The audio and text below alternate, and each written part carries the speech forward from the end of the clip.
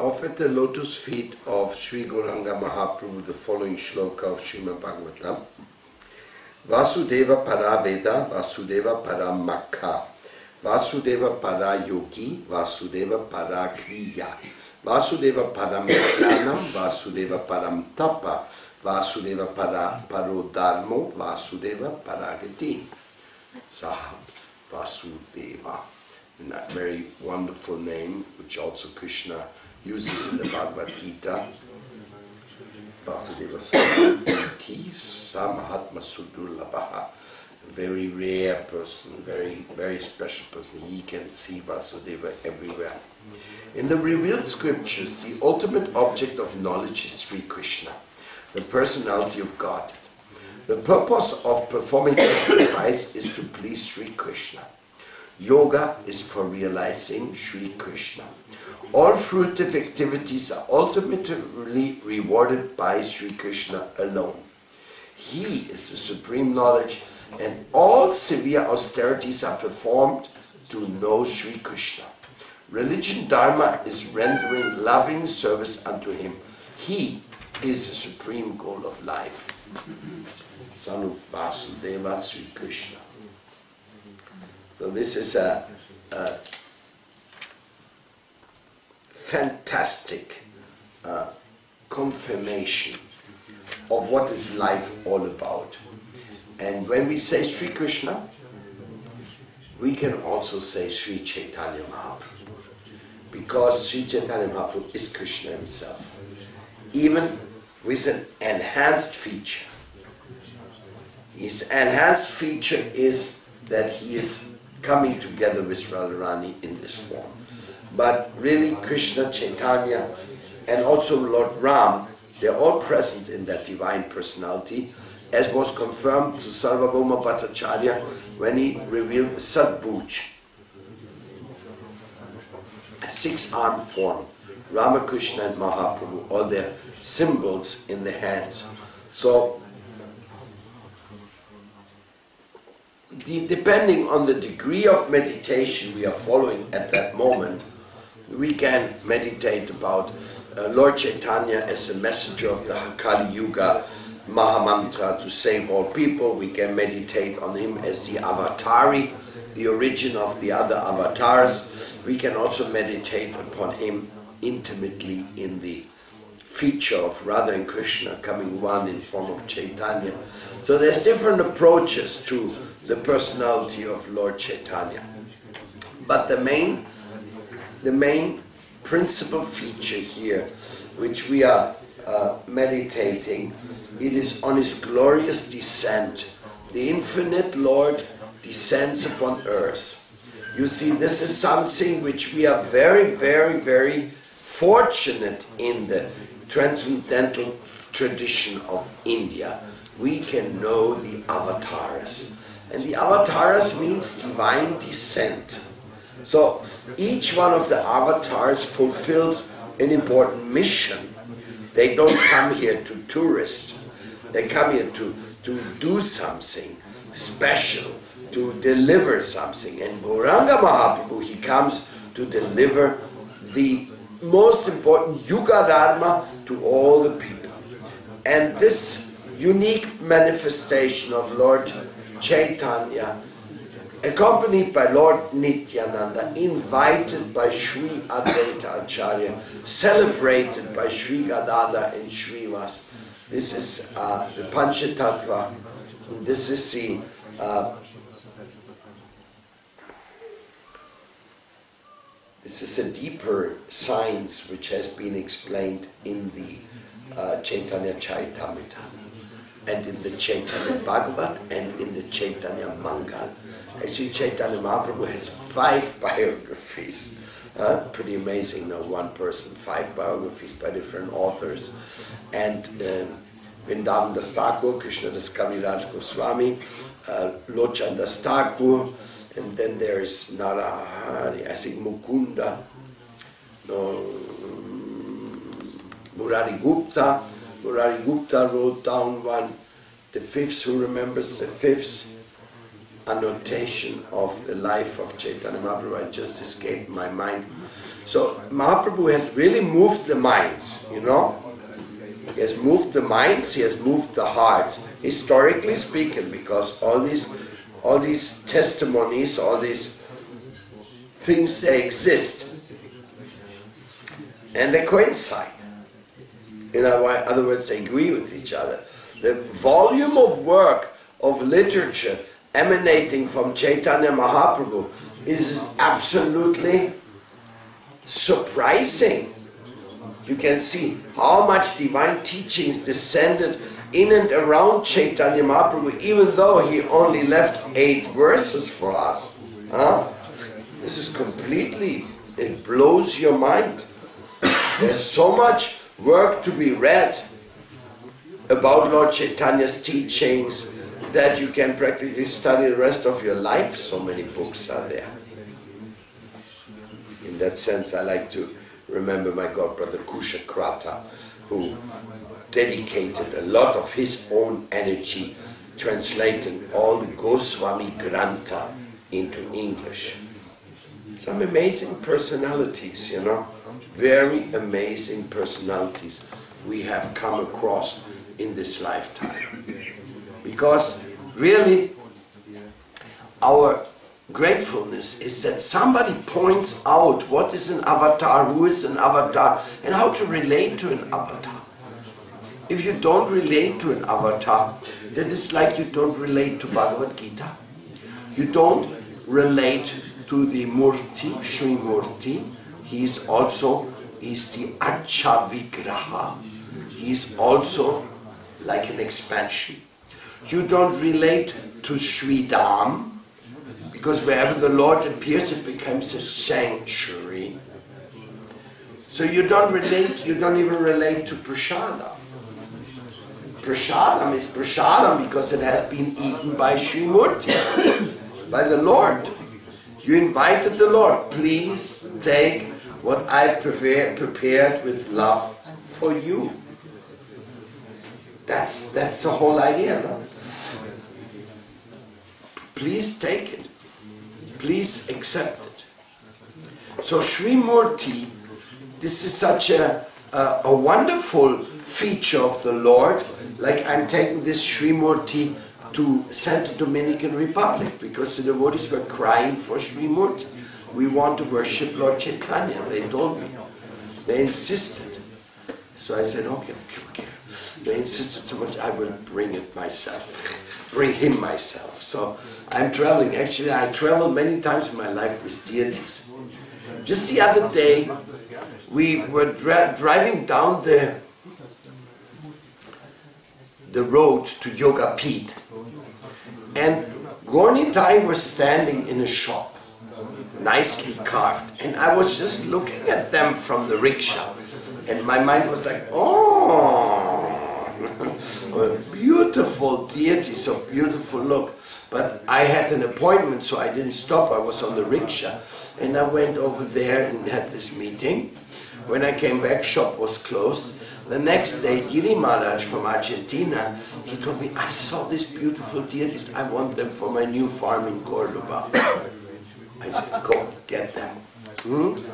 So I just saw them in one second. Next moment they just came into our Jana Vikunja Gaudiya big Gour Nitai, this size, beautiful. And he's taking them to Godrum. Godrum is the new place. It is an unbelievable, beautiful five hectare piece of land. Girimaj just obtained uh, at some distance from Cordoba in a microclimate with palms and everything, uh, because Argentina is different climate there uh, than Brazil, for example. No? And uh, but it's a very, very beautiful place with a little river on it. And many, it's it's so picturesque that it's just a perfect setting for Godrum. Godrum. So like this thing, Sri Murti. I just saw them cycling. I said, wow. Now I'll see them again in Cordoba, in Argentina, because they already went. Huh? So, So like this Sri Murti is very, very powerful, very beautiful. So much that Sri Murti can actually set the scene for our life. When a, when a Chaitanya Mahaprabhu deity goes somewhere, he's going to transform that place. Many things are going to happen there. Of course, if you have a deity, you also have to pay attention. You don't keep a deity in a cupboard, locked away.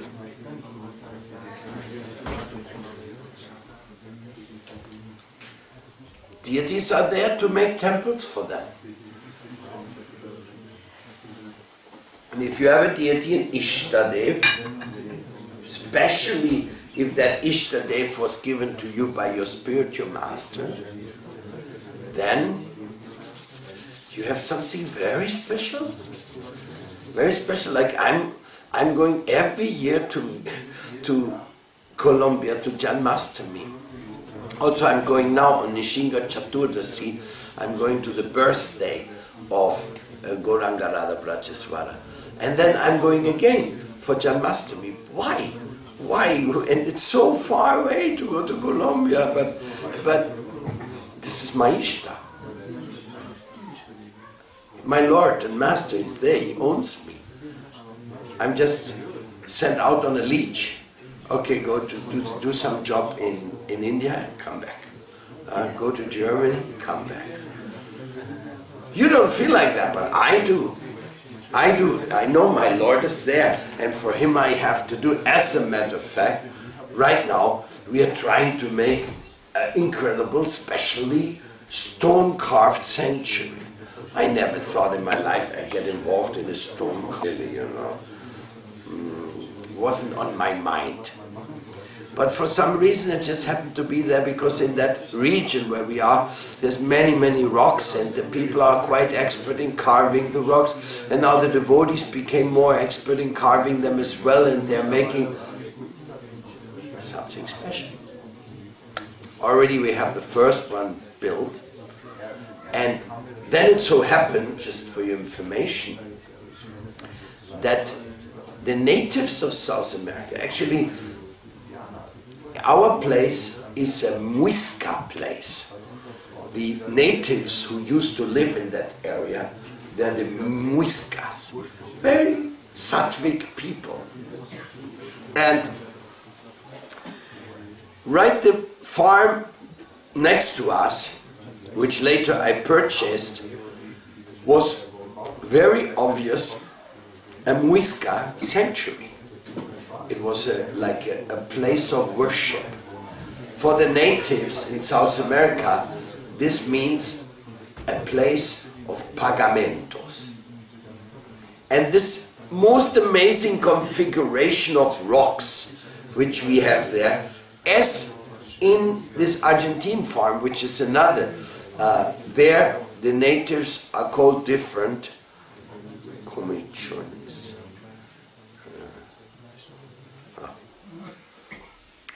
It escaped my mind what these natives in Argentina called. But uh, so, so when I saw this, can you imagine? I bought this piece of land, but every time I went there, I went to the other one next, which wasn't ours. I was drawn to it like a like a magnet.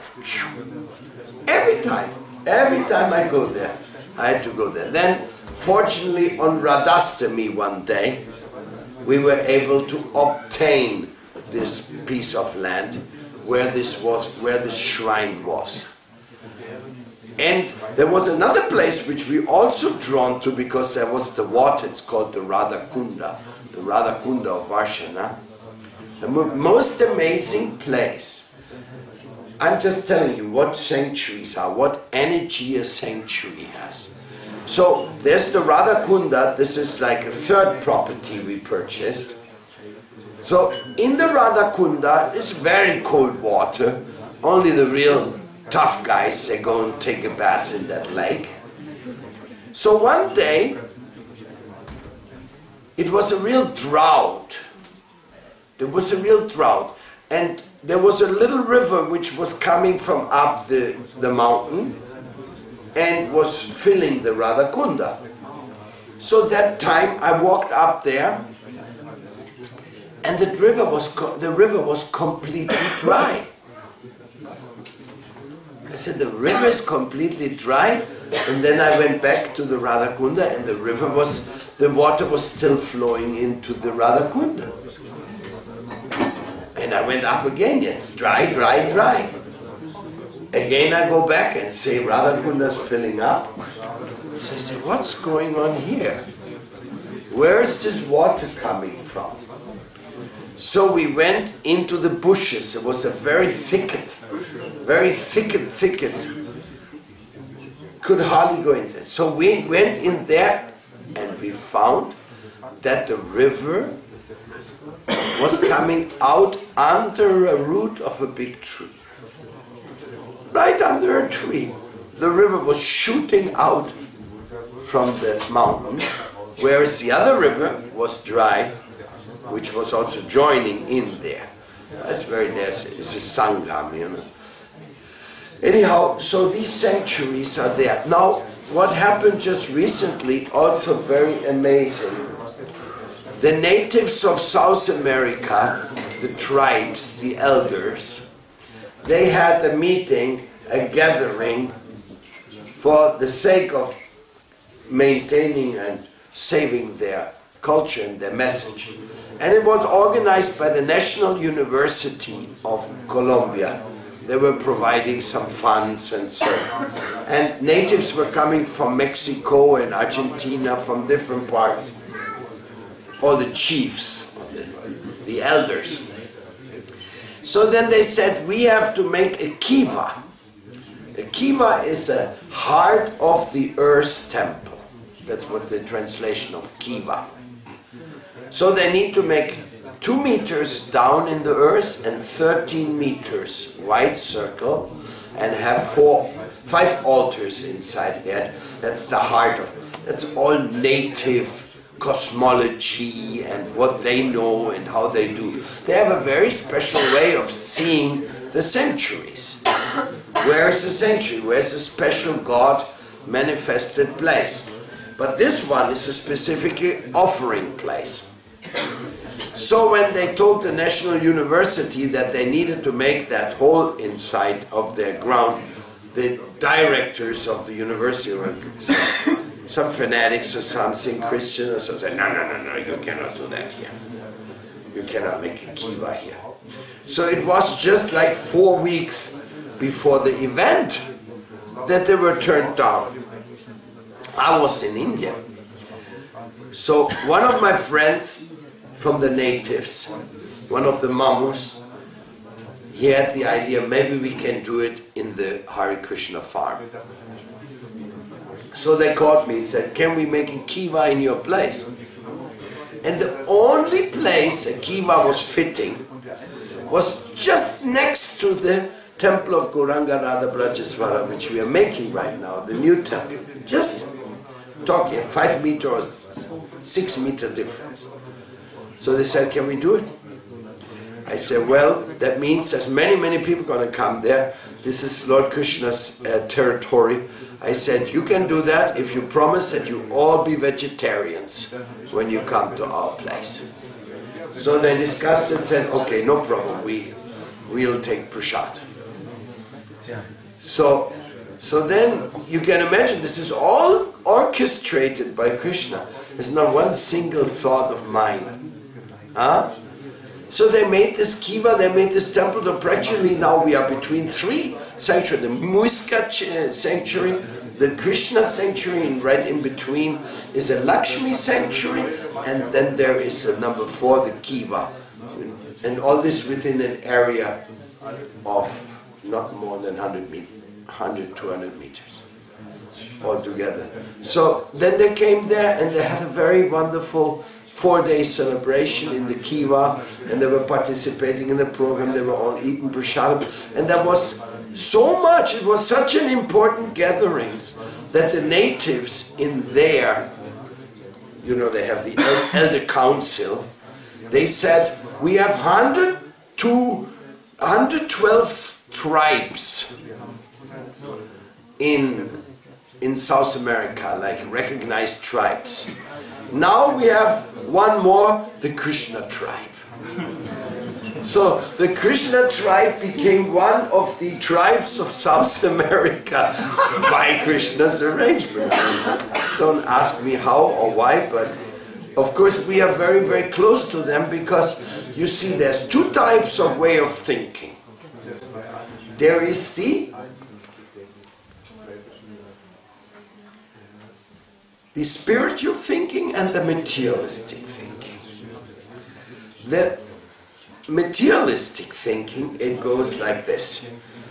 It's like this, and there's nothing more than this. And that's what's beneficial for me, and that's what I do. Regardless what. Like spirit. Exploitation. And there's no there's no space for all the things. It's only for my way. Like in America, they say, my way or the highway. Huh? So, the, the spiritual way of thinking is that it can be this way and it can be that way. We don't focus, it must be only this way.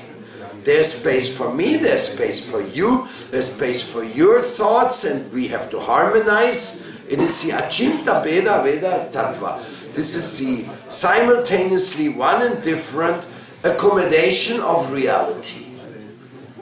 And in that, you are always open towards everybody. It's a very beautiful way of seeing.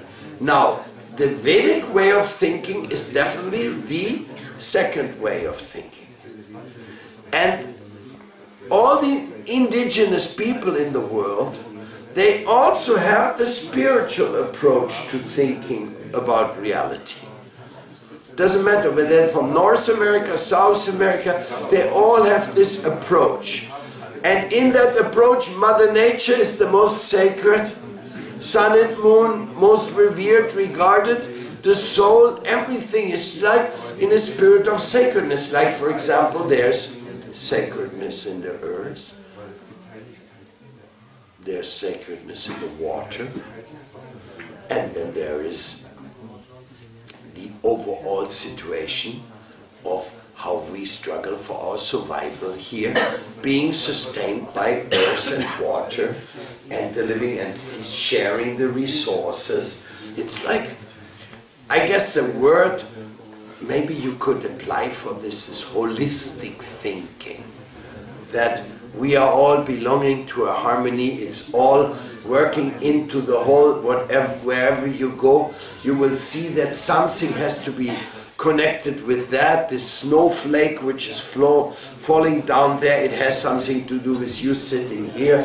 Uh, and it affects us, and it's all like the overall uh, orchestration, the tapestry is woven throughout the creation, and in all this tapestry, somewhere, somewhere, you are also present. Oh, my dear Lord, Gauranga, Gandharvika, Govinda Sundara. So, if I'm part of a tapestry, look upon it like that.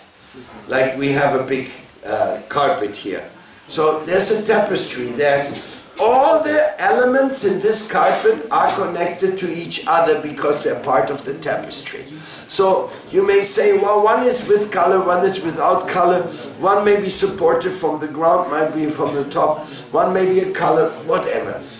In the same way, like this carpet tapestry is woven, the whole creation is a huge tapestry woven. It's just, it's just so amazingly more higher, sophisticated, complex. But this is what Chaitanya Mahaprabhu came to give us. An understanding of the complexity of life and, and being in the spirit of simultaneously truth and highest and simultaneously different matter to overcome the struggle of against illusion. Like sometimes uh, Brahma Satyam Jagat Mithya. This is one of the uh, more impersonal interpretations of the truth says there's only the spirit and everything else is false.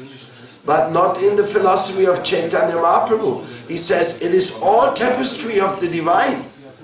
And sometimes the sun is hiding behind some material thing like a cloud, and sometimes it's revealed, but the sun is always there. And in this way, you are related to the sun. Like the sun is sustaining us, even if there's big cloud every day, still you are sustained in your life existence by the sun. So all this came in a very special way, that the Eastern thinkers and their spirituality and the Western mystics, the natives, came together by the arrangement of Krishna on a special thing. It already started last September when I was in Rio de Janeiro on the World, World Summit of Ecology.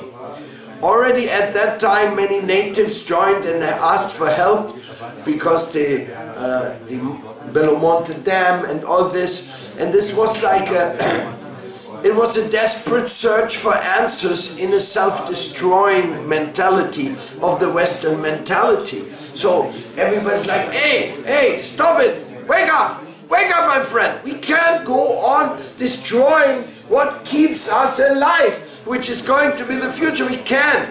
Wake up. And then there were all the governments that were sitting there with two fingers in the ears.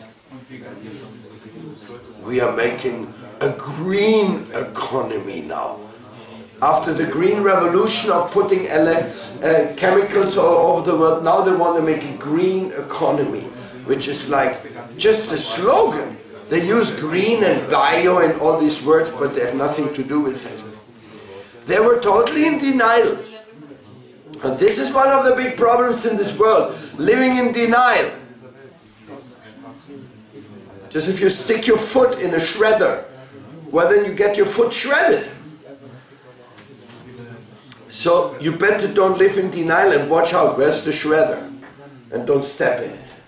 So in the same way, uh, but there was something very more, very more intensive. That hey, this cannot be solved by violence, by revolution. This cannot be solved by aggression. This can only be solved by love. That was the conclusion of Rio plus 20. 20. There is no hope except love and individual consciousness. Forget about Greenpeace. Forget about Amnesty International. Forget about the WWF. Forget about all these organizations, even though they may go on with their work and hopefully they do some good work. We are not denying them the validity of their efforts, but we had to go the result. 2012. All the numbers going down the drain. All the supposed work for the preservation of the planet are not effective. The media, the ignorance campaigns are so intensive, the planet is in despair. And the natives scream, stop it. There's a saying amongst the natives in South America which says, as long as the white man does not understand who are the real guardians of nature and follow their counseling, they are just doomed to self-destruction. Another saying they have, they say is that the coca leaf is the blessing of the indigenous people and it is the curse of the white man. Interesting, no? And the same when the natives chew the coca leaf. As a matter of fact, the, the, the, coca leaf amongst the natives is the symbol of Mother Earth and caring for her and friendship. So whenever two people meet each other, they put a little coca leaf into the bag of the other, and the other takes some leaves from his and put into his bag. When they chew the coca leaf, especially the men are doing, women are not chewing coca leaves, because women have the Mother Earth energy already. Man doesn't have the Mother Earth energy. So man is chewing it so that they can get Mother Earth energy, know how to respect earth, water, women, children, and sick people. It's like a, it's like an awakening experience to them. Taking responsibility and creating friendship. So for them the coca tree is a very sacred tree and there's no intoxication. Maybe a bit of stimulation, but that's all. Uh, so know, I got a little side sidetrack here, but uh, okay. So it started in Rio de Janeiro, and simultaneously it started. So then I was just going to New York and Central Dominican Republic when I got a special invitation. The invitation was from the Sierra Nevada, from the four four indigenous groups, the Arhuacos, Wiwas, Kankuamos, and Kogis. Four, four type of groups. They're living all together in this most beautiful setting of Sierra Nevada. Something like a dream. Can hardly believe that such a thing on this planet exists.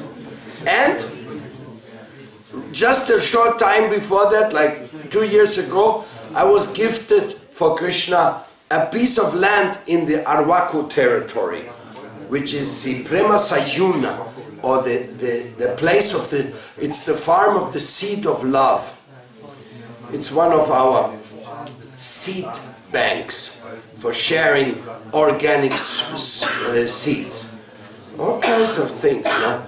Amazing situation. So, so that was there. I had this relationship with these families there even at that time I visited there, but when this invitation came, I was invited to represent India and the caring of India for Mother Earth by the natives of South America. And they, were, they invited like a group of uh, 30 people and there were meetings. So when I got this invitation, I said, my goodness, this invitation you don't get every day. So I canceled all my other trips. I said, I'm going there to Sierra Nevada. So when I went there, it was a very beautiful encounter because the natives had come up to the same conclusion as we in, in, in, in Rio de Janeiro. Rio de Janeiro, we need the solution of love. And we have to protect the ancient wisdom. And I mean, so many things happened at the same time. At the same time, there was one devotee group, they just donated a piece of land to make a university of ancient wisdom, also in the Sierra Nevada, but on the other side, on the Santa Marta side. And they all came with me to meet the natives. And this, this meeting together, it was for two and a half days, it was so significant because it was an alliance for the awakening of humanity, of course, to Lord Chaitanya.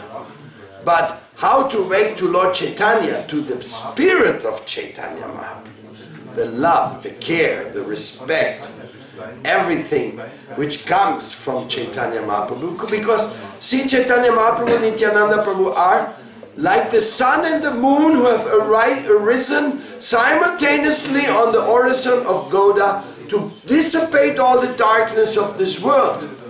So here I am in South America, the, the, the land of the sun worship.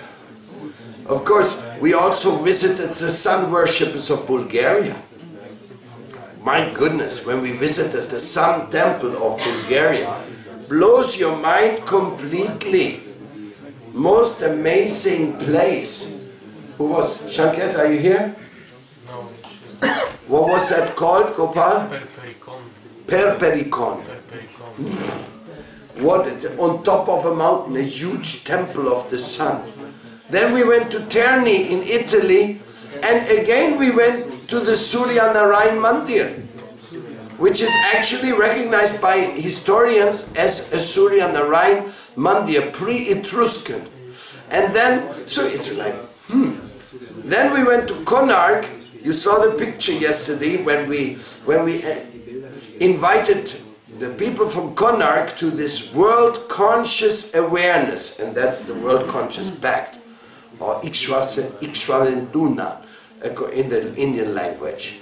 So, so this awakening to the temple of the heart, this is so historical.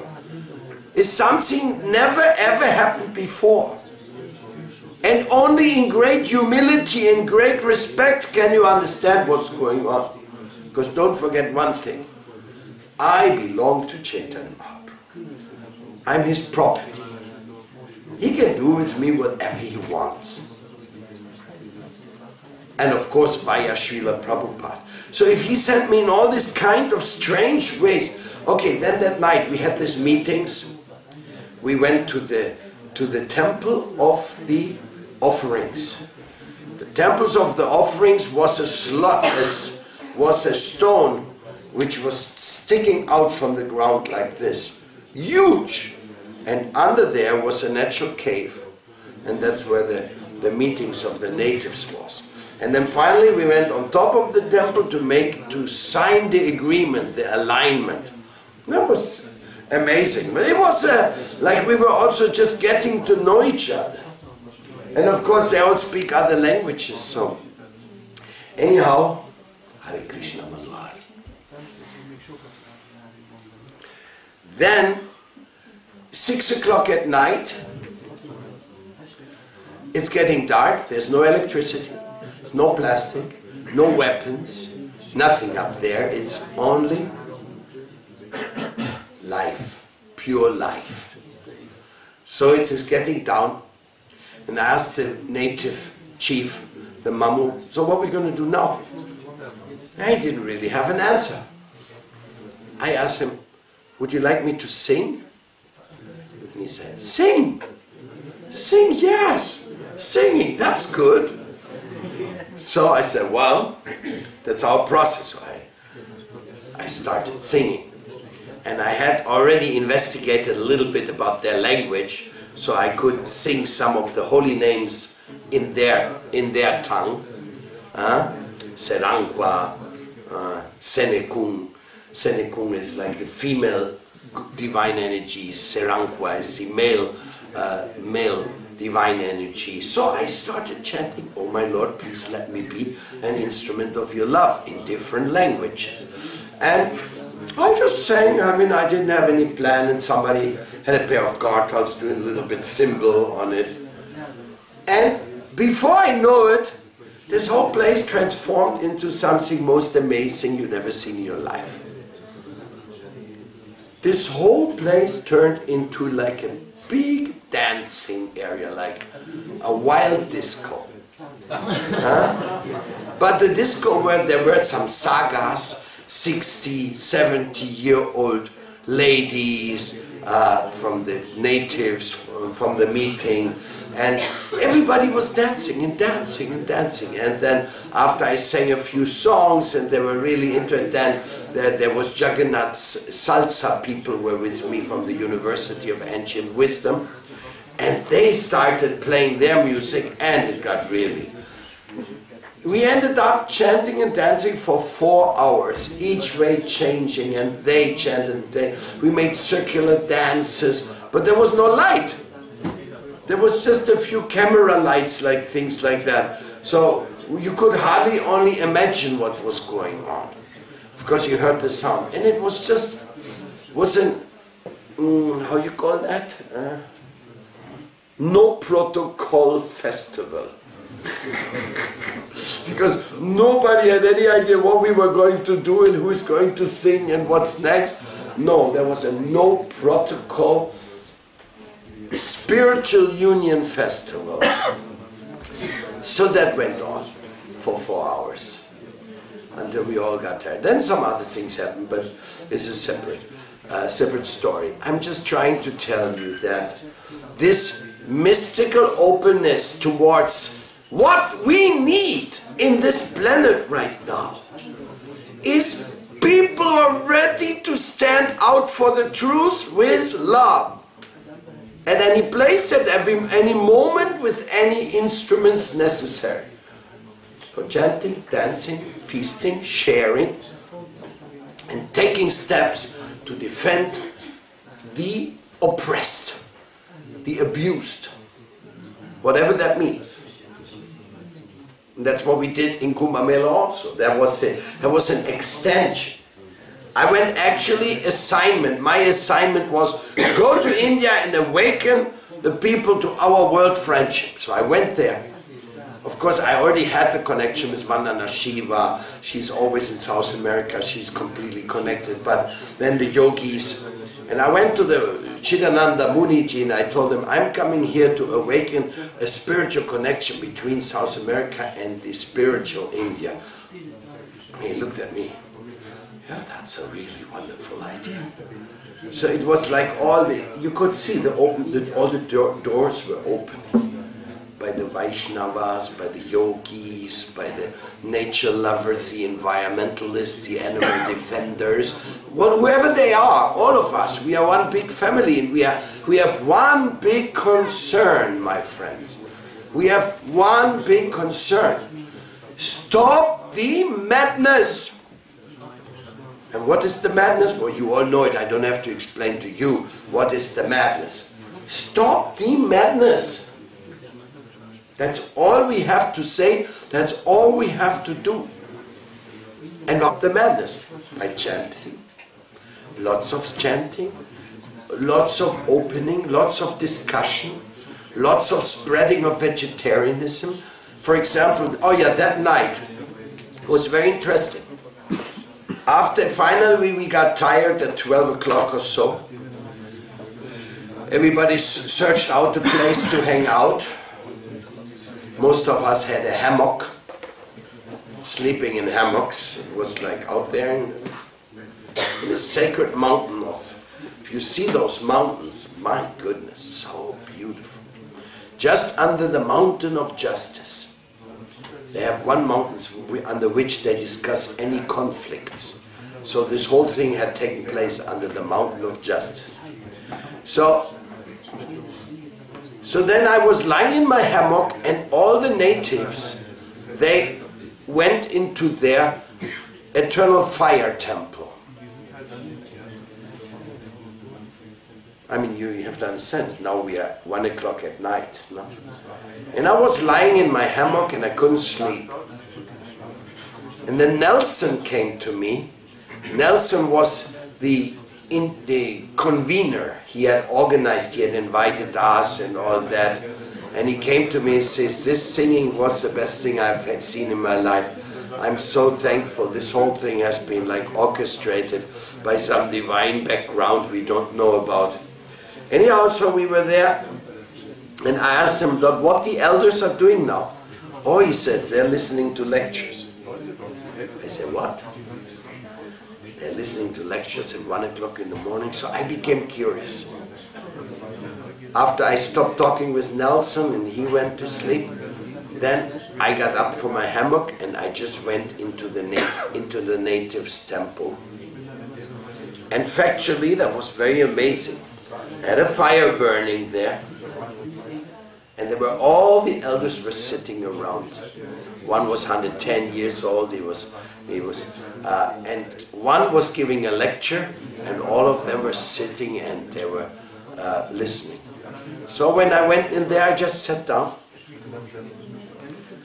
And after maybe half an hour of listening, there was one uh, cabildo who who had been the representative of that community before the government, so he knew a little Spanish, so he sat next to me.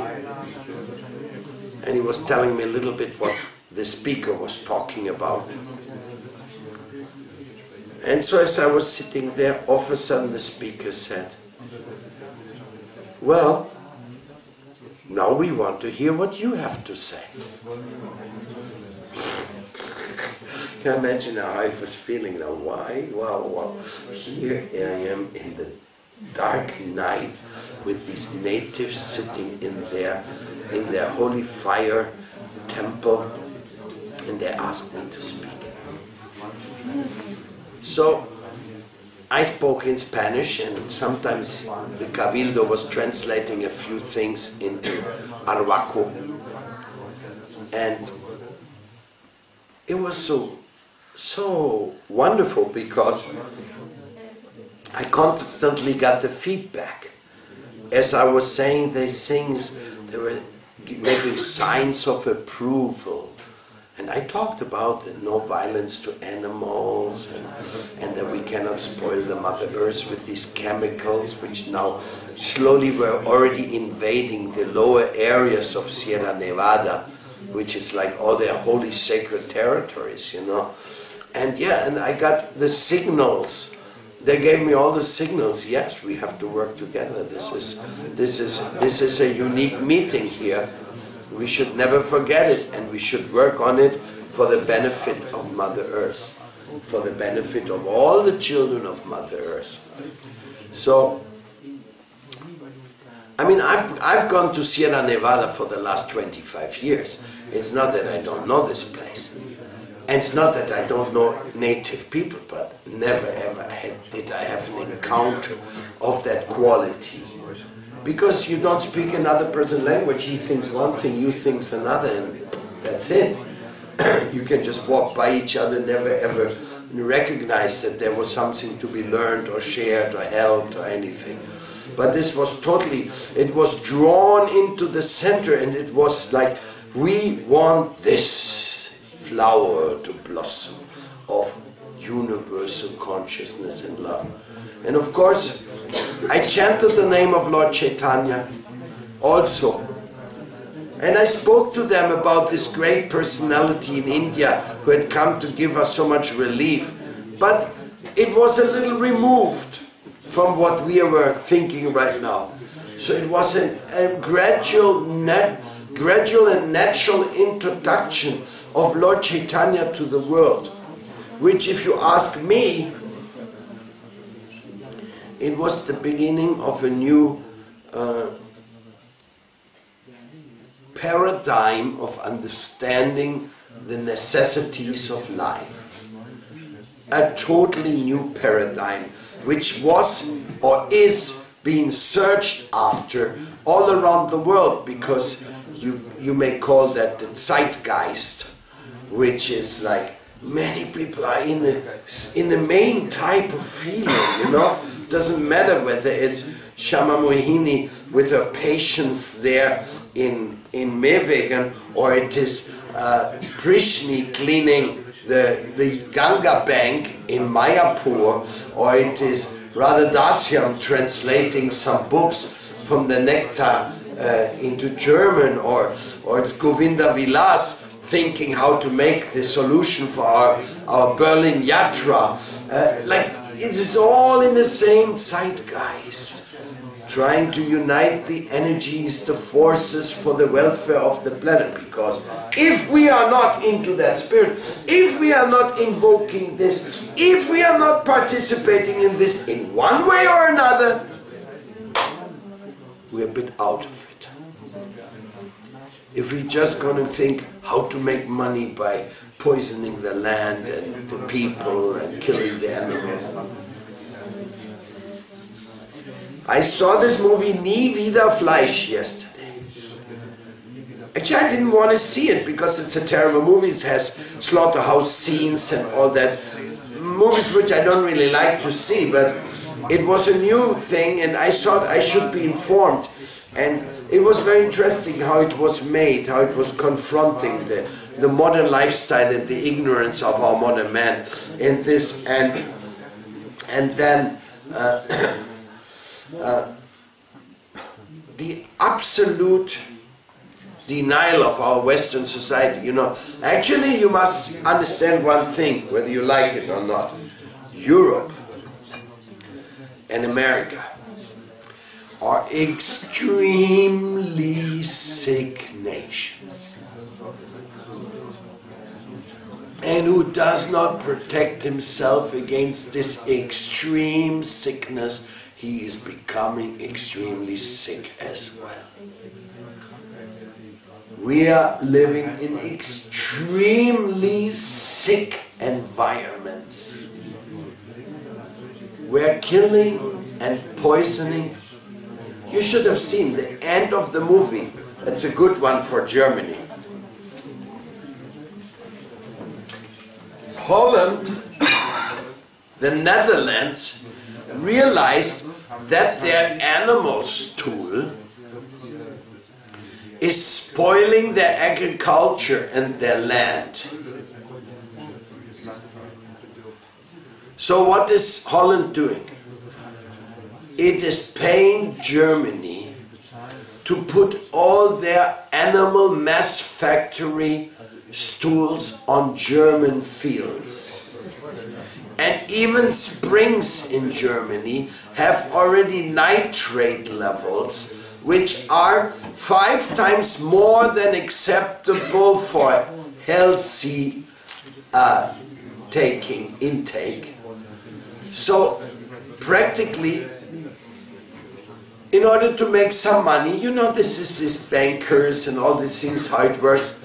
Somebody makes money putting the misery on all the others. And you may know or you may not know. Most of the time you don't know. That's why we're living in this ignorance. You don't know what's the water situation. Because you don't have a laboratory to test it yourself, nor do you know what are the safe levels and the non-safe levels of this and that. You don't know. You don't know what air you're breathing. You don't know what products you're eating and you don't know what it does to you. You have some idea. You know when you watch TV that you become every time more dumb. But still, do you know what salt does to you? Do you know what sugar does to you? Do you know what uh, talking nonsense does to you?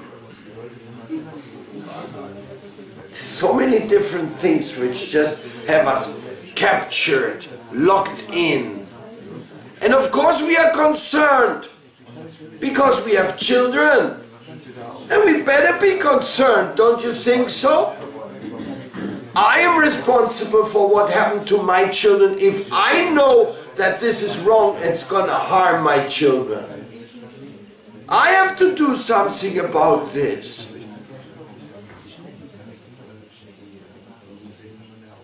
So in the middle of all these circumstances, very surprisingly, now we are making this temple for Gauranga Radha Brajaswar. Carved in rocks.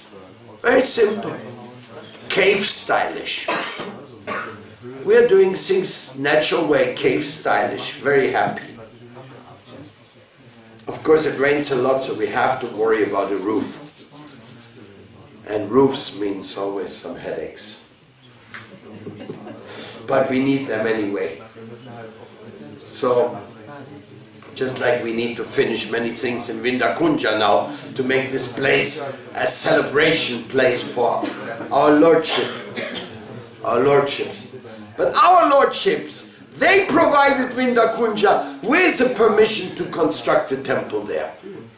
So if we don't do it now, well, what can be done? Actually, I was in a doubt about it before because I wanted to keep their lordship in Mitte. I thought they belonged into Mitte because Mitte is the middle of town, most important, but you know they don't care. Mitte or, or another place, what they care about is the love of the devotees. And where the love of the devotees is, they will be very happy. So, but this is something, you know, is so amazing. Anybody who was there, he knows that their lordship, Gandharvika Govinda Sundaram, got this Vindakunja house. We, we, nobody can take any credit. A few people were a little instrumental here and there, but nobody can take the credit. It was their lordship who got this temple for the devotees. And therefore, we are committed to make this a very beautiful, incredible, extraordinary sanctuary. To make everybody happy inside the temple and around the temple also. So we have to harmonize with our environment. And so we do everywhere where we go. We have to make friendships and show the people our concern for their well-being. And our concern for the well-being of the others, that includes protecting the waters, providing healthy food, informing people about what's good for them, what's not good for them. And if you do that from the heart, then you will see how appreciative people are. How appreciative. So we forgot the Premadama Deva Stotram with the English translation in Berlin. I believe yes. Huh? Da, da. Well, we can translate it from German. Anyhow, all these things uh, have been on my heart, on my mind.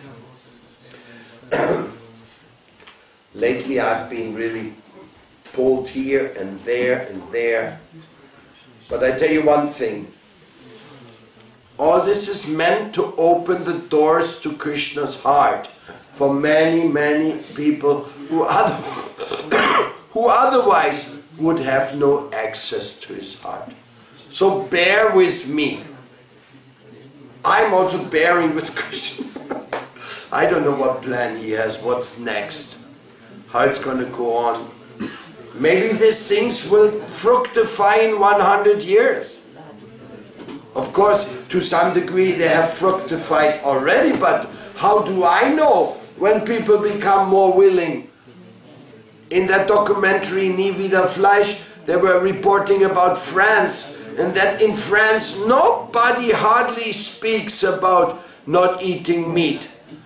That even those who are against meat, they're just speaking about health and things like that, but not the part of how sinful we are of creating so much misery for the living entities.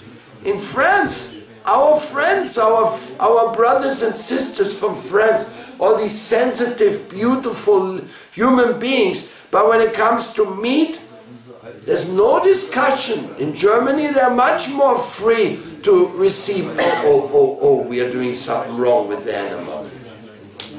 They don't discuss it. They just say, it's necessary. We have to kill them. And they don't realize that by killing the animals, we're killing our health, we're killing our water, we're killing South America, we're killing Africa. Can you imagine that Germany, Europe, is the biggest meat exporter to Africa? Africa, this wonderful tropical country in the south. German slaughterhouses export tons and tons of meat there, destroying their economies. Because it's dumping meat. They're dumping the meat there at prices which can only be sustained by all the exploitation everywhere. And because the European markets only wants to eat the breast of the chicken. The rest of the chicken goes to Africa. Germans only eat breasts.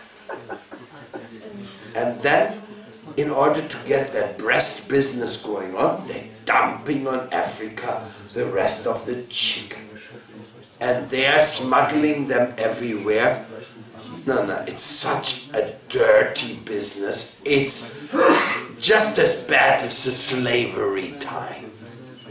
What they're doing to Africa, maybe we should see this movie here, maybe some, it's, it's unbelievable. How they're destroying a continent in order to have, and then the guy who was interviewed from the, I guess from the Strasbourg uh, Council of Economics, He said, we have to keep our machinery running. We have to make sure that we can keep producing and increasing our production. There was one Danish slaughterhouse, a Danish slaughterhouse, exporting to 120 countries in the world meat. God save me from all this madness, from all this madness, careless madness, which all the karma comes back on Europe, my dear. Just wait what misery will be inflicted here in due course of time for doing such nasty, sinful things to the planet and living in luxury. no, no, no, no, no. We have to change. We have to bring consciousness to our friends. And one of the ways we do that, at least some people do, we distribute millions of Okis. Conscious awareness things and come together and let's think about it. I can show you two documentaries, each one five minutes long. When you see them, either you want to vomit or you want to change. And you want to be part of the action of conscious rising of a new paradigm. Or you just want to say, ah, nothing to bother me. Let the world go to hell. It's anyway. It's whoever gets the overhand, let him enjoy. And whoever gets the underhand, let him suffer. Who cares? If you subscribe to that philosophy, you perfectly fit into Europe. Thank you very much, Lord Chaitanya, for showing me another way of being.